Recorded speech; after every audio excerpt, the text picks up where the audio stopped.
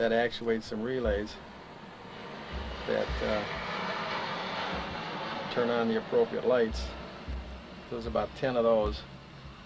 The bus a 1955 Greyhound that was put in service out here in the west coast and uh, this is a low voltage control system for uh, the various lights. There's four of these. One uh, at the front door, one over the driver's compartment, one in the middle of the bus, and uh, one back in the master bedroom. And you can actuate all the lights down the hallway and the lights around the side from this panel. Uh, it's very nice at night when you walk in the bus you can illuminate the whole thing so you don't have any surprises.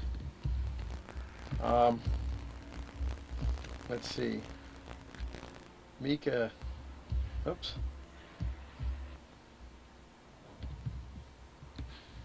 Sorry about that lap dissolve. We got a little bit uh, pushed the wrong button.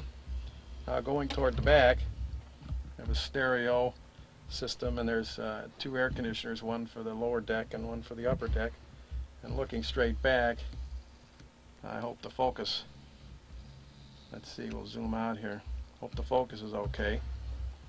Uh, got the three stairs going up. The bus has still got the over the road air conditioning in it, as well as uh, two 12,000 BTU uh, air conditioners when you're parked. We've got a couple of captain's chairs here, which I think I'll be able to give you a much better view of the living room, as it were, um, from up above.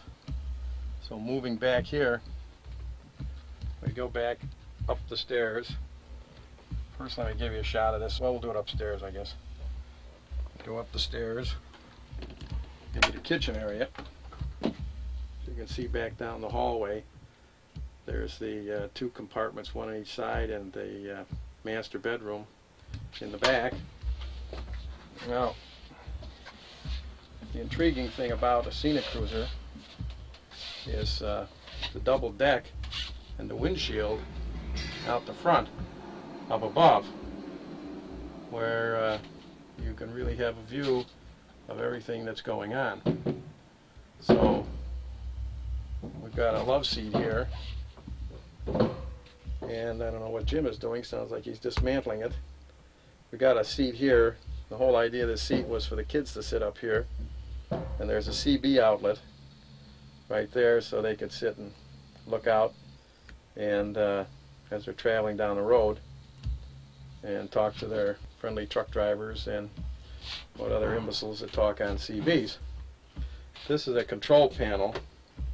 Again, we've got switches here that control the pump, uh, that can, the water pump and the uh, the lights.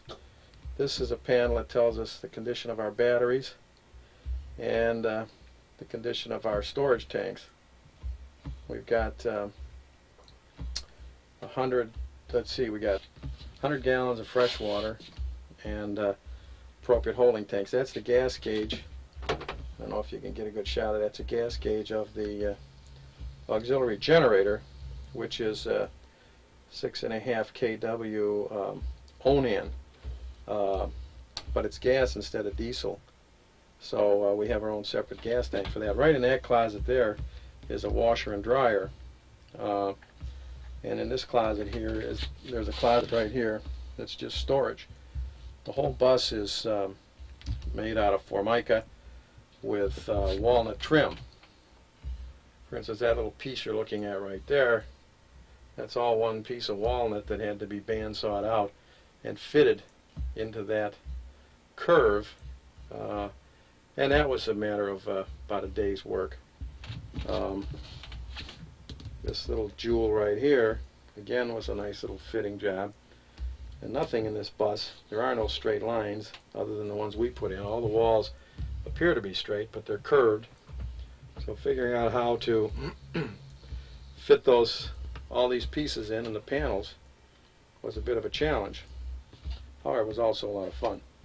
Let's take a look down here in the living room. There's a hose for the vacuum there, but overlooking that, it was quite a comfortable living room. We'll get down here and you get a better shot. looking out the driver's window. Then that sofa turned into a uh, a bed for two people. The whole thing is carpeted except here for the kitchen area. Um, so you go back here, we, the windows, uh, so you could cook a nice meal and either rolling down the highway or um, stationary. You got a nice view of everything, particularly all the gawkers coming over to look at the bus. You got a propane stove, propane oven, and there's a trash compactor right there, and um, a refrigerator, electric refrigerator, a microwave, electric refrigerator, and a freezer. So that runs off the battery all the time, which uh, means uh, it's a lot easier to keep it running. All these quarter rounds here, see this rather large quarter round that's forming every corner. That was a bit of a trick. Almost cost me my life because the blade from the shaper came out and uh, it must have weighed about oh, two ounces of cold hardened steel and it came flying out Unfortunately, I had the sense to stand behind the machine and the blade went flying out and went through the walls and bounced around the, the garage for a while. Very unpleasant experience. This is a uh, thermostat that controls the upstairs um, heating and air conditioning. And here we've got a uh, dining area for four people. Um, drapes all closed, the entire bus all closed all the drapes. One of the big problems I had was never able to quite figure out how to put screens on it. Um, still don't haven't figured that out.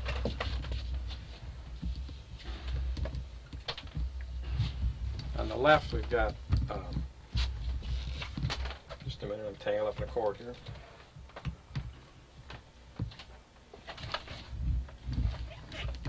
Time out while we fix the cord.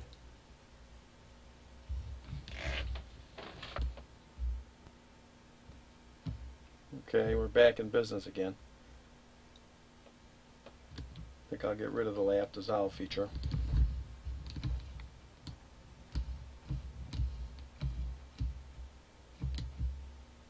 I can figure out how. Okay, I got rid of that little feature. now moving right along, I go on back. And uh, here's the berth. One side is Martha's and the other side is Faith's. Dragging all this wire is a real challenge. So the bedspread's all made and the, there's a pad so they could sit in there and read. And then they had cupboards up here that they could store stuff in. And then there were drawers down there that they could store more stuff in. And Faith's side is Oh, actually, this is Martha's side on the right, and the reason you know that is because I bought these lights, and I hope you can see. And so I gave Martha hers and said, okay, Martha, you install yours, and I gave Faith hers, and I said, okay, Faith, you install yours. So there's Martha's, and we haven't quite found Faith. We know where Faith is. It's still in the drawer, uninstalled. However, that's how we can tell them apart. Now going back here, more cord problems. Okay, we're back in business again. So going back here to the master bedroom, first we had these doors which were a bit of a trick to make and uh, some idea what those look like. Getting everything to fit in this thing was a real chore. We bought the bus and think about, started planning it in late 1976 and my recollection is took delivery in May of 77 and I had the uh, rebuilt engine built put in that I bought from uh, uh, the Greyhound dealer. And then uh, had an automatic transmission put in and had the whole thing all cleaned up and new uh, hoses and belts and just had the whole engine completely taken out transmission and new drive shaft brand new Michelin tires uh, completely had the running gear gone through, the brakes redone, and from there, let's see, brought it home in about September. And we started taking it apart. All the seats, I sold all the seats to the to the dealer, and then uh, we just started working on it in about October of '77 to uh, get it done in about a year and a half, and then take a trip, about a 12,000 mile trip around the country with the kids, Deed and I, and Faith and Martha. Well, uh, I misjudged finishing this thing by about a year, and uh, so we kind of uh, we never did make the trip. I guess about all we ever did with it was going out of Tijuana and uh, go out to the Salton Sea. We went someplace with the McGregors out to uh, Borrego Springs. A few other short trips. Loaned it to Lockie one time, and he took it out. I don't mean Lockie, I mean uh, Uwe, our neighbor Pollen, and they took it up uh, to Hearst Castle. But basically, it's pretty much just sat in here and stored. So today we're parting with it. Well, I think we got a pretty good shot of the inside. Just kind of walk up front. Oh,